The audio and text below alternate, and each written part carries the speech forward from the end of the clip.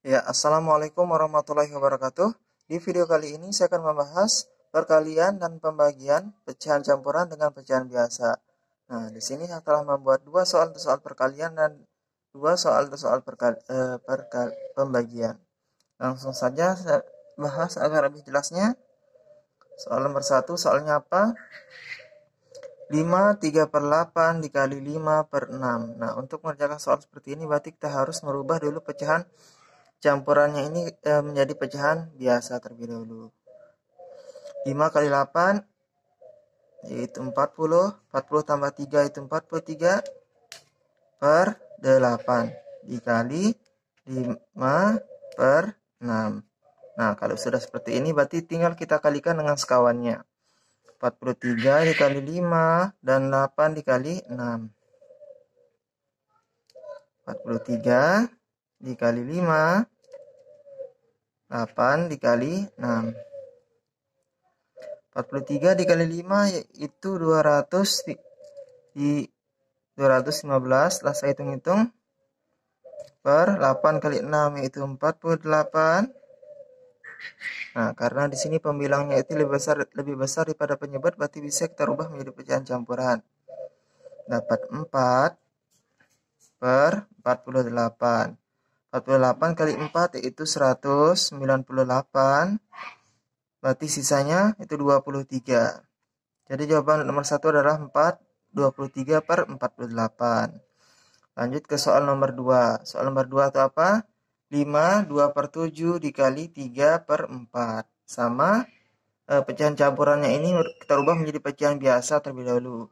7 kali 5 yaitu 35.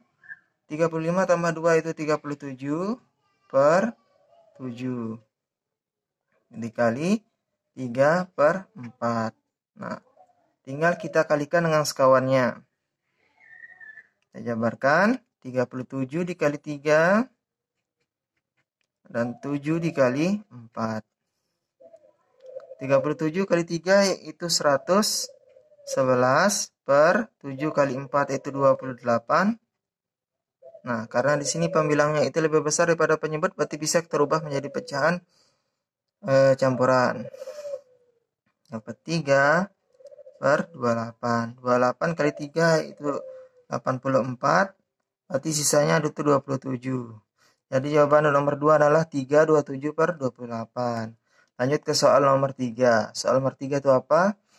5, 4 per 6 dibagi 2 per 5. Sama, kita rubah eh, Pecahan campurannya ini menjadi pecahan biasa. 5 kali 6 yaitu 30. 30 tambah 4 itu 34 per 6. Dibagi 2 per 5. Nah, karena di sini pembagian berarti pengerjaannya itu berbeda teman-teman. Yaitu 34 kita tulis seperti biasa. 34 per 6. Terus tanda baginya ini kita rubah jadi tanda perkalian.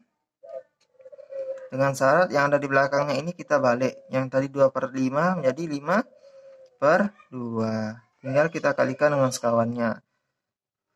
34 dikali 5 yaitu 170 per 6 kali 2 itu 12. Nah, karena di sini pembilangnya itu lebih besar daripada penyebut, berarti bisa kita rubah menjadi pecahan campuran.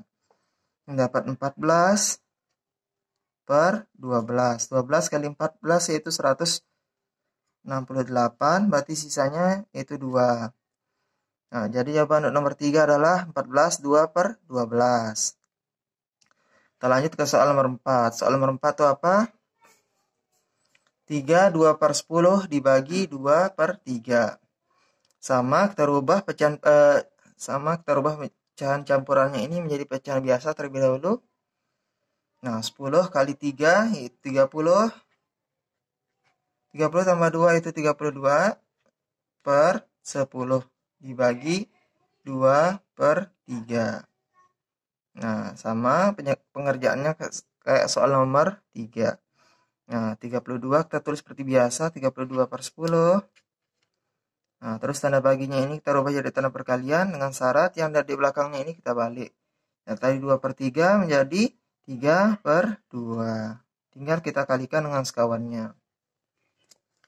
32 kali 3 yaitu eh, 96 per 10 kali 2 yaitu 20 Nah, karena di sini pembilangnya itu lebih, lebih besar daripada penyebut, berarti bisa terubah menjadi pecahan campuran.